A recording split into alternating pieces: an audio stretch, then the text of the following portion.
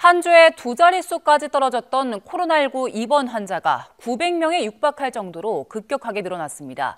그런데 격리 의무가 없어진 상황이라 직장인 대부분이 코로나19에 걸려도 출근하고 학교들도 속속 개학하고 있는데요.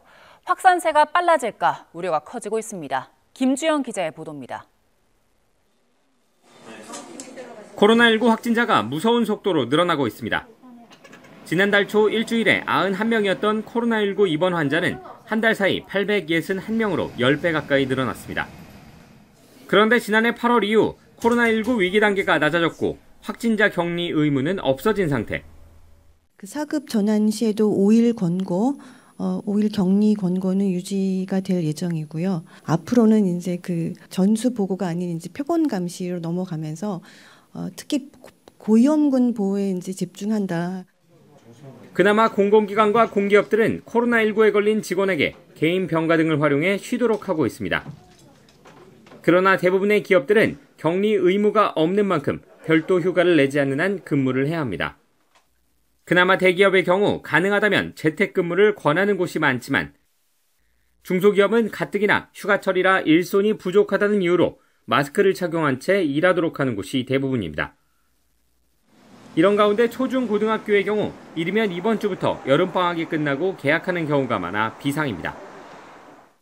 코로나19 확진 판정 시 학교를 나오지 않아도 출석이 인정됐던 가이드라인이 사라졌다 보니 이제는 코로나에 걸려도 의사소견을 보고 학교장이 결정하게 됩니다.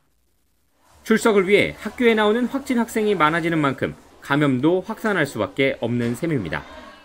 모든 호흡기 감염병은 어, 계절적 영향도 있고 사람의 행동 변화에도 영향을 미치기 때문에 여름철 유행 이런 것이 일어날 수 있는데 방학이 끝난다, 사람들이 음. 다시 모인다 이런 음. 것이 영향을 미칠 수 있고 하지만 보건당국은 아직 감염병 위기 단계를 올리거나 방역 지침을 강화할 상황은 아니라고 보고 개인 방역 지침 준수를 강조하고 있습니다.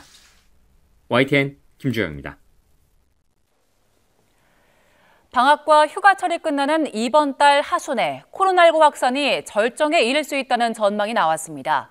홍정일 질병관리청 감염병 정책국장은 한 라디오 방송에서 사람들이 다시 모이는 행동 변화가 유행에 영향을 미칠 수 있다며 이같이 밝혔습니다. 이어 냉방으로 인한 밀폐 공간이 많이 생기는 것도 여름철 유행의 큰 이유라고 설명했습니다.